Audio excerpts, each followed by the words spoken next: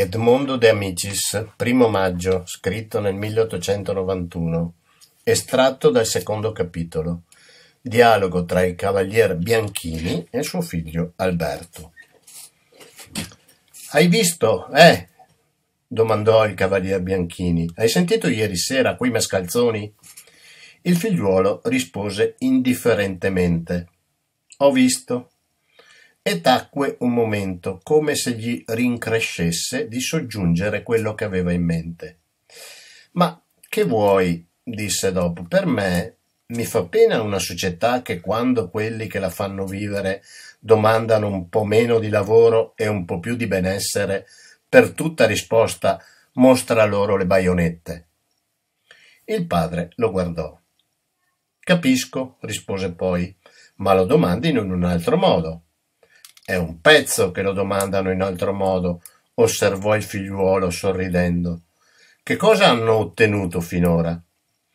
Bisogna vedere se le loro domande sono ragionevoli. Insomma, la condizione degli operai si è migliorata molto da una volta.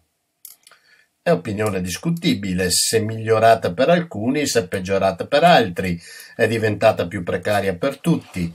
Riconosco che stessero peggio una volta, ma ti parebbe giusto negare a un giovane negro un diritto per la ragione che suo padre non ne aveva nessuno?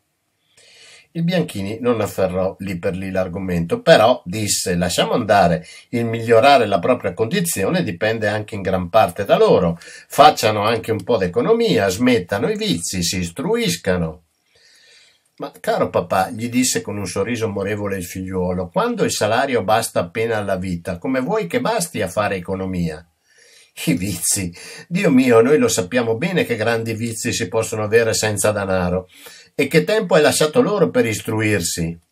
Che tempo hai lasciato loro per istruirsi? ripete il padre. Dunque, tu sei per le otto ore di lavoro? Certo. E credi che le otterranno? No. Gli industriali dicono che non possono ridurre le ore se in tutti i paesi i governi non le riducono ciò che è vero, e i governi dicono che non possono perché le condizioni dei vari paesi per industrie, clima, eccetera, sono troppo diverse. Vedi dunque che lo stato attuale delle cose è inevitabile. No, papà, tu vuoi dire che lo stato attuale delle cose era inevitabile che avvenisse se prodotto necessariamente come ogni fase di uno sviluppo. Questo è vero, ma è un'altra cosa come lo stato attuale è derivato da un altro, così un altro col tempo succederà a questo necessariamente, per forza indipendente della volontà dei proletari e dei governi. Il Bianchini poi con stupore scrollò il capo, non persuaso, poi domandò improvvisamente in che maniera? Ah, quanto a questo, rispose sorridendo il figliuolo, eh, io non lo posso sapere. Si può prevedere che cosa arriverà alla società, ma non segnare la via o le vie per cui passerà per arrivarvi. Vorresti dire una rivoluzione? domandò il padre fissandolo. Può anche essere, o se non una rivoluzione, una serie di scosse violente, di convulsioni sociali, che a poco a poco modificheranno radicalmente lo stato attuale. E credi che comincerà presto questa serie di rivoluzioni? domandò il padre con un sorriso di chi dubita se il discorso sia serio o faccetto. Credo che sia già cominciata, rispose serio il figliuolo. A quelle parole suo padre e sua moglie s'alzarono tutti e due insieme, ridendo, come per far capire che non dubitavano più di uno scherzo. Da quando in qua hai queste idee? gli domandò la moglie. E il padre ripeté la domanda mettendogli scherzosamente una mano sulla spalla. Giusto, da quando in qua hai queste idee? Alberto s'alzò un po' piccato e rispose Ho parlato sul serio. Come potete pensare che io scherzi sopra un argomento di questo genere? Il padre si fece serio. E perché allora non ci hai mai espresso le tue idee? Perché prevedevo che non ci saremmo intesi e vedete bene che avevo ragione.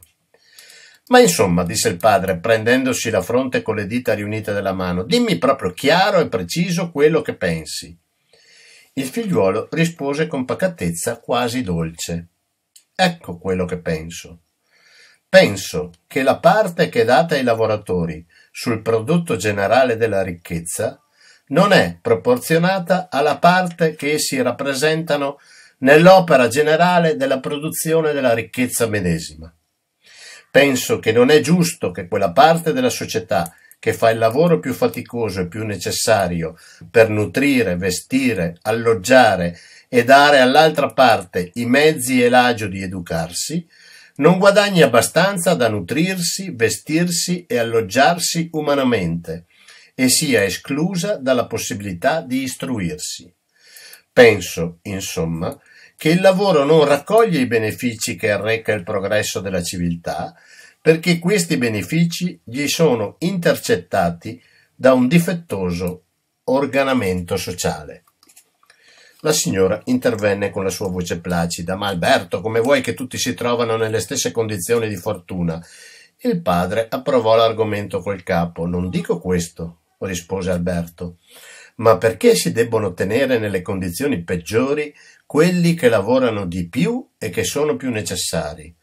Perché ci deve essere tanta gente che lavora troppo e non mangia abbastanza e tanta altra gente che lavorando la metà vive nell'agiatezza e tant'altra che non lavorando punto nuota nell'abbondanza?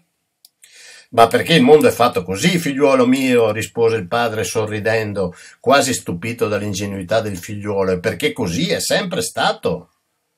No, papà, così non è sempre stato. C'era la schiavitù e il servaggio e non ci sono più. C'era il feudalesimo, c'era il dispotismo e sono scomparsi. C'era l'ineguaglianza civile e politica delle classi ed è stata soppressa. Vedi che il mondo è mutato e se si è mutato si può mutare. Se si può mutare non è una legge soprannaturale che sia com'è al presente.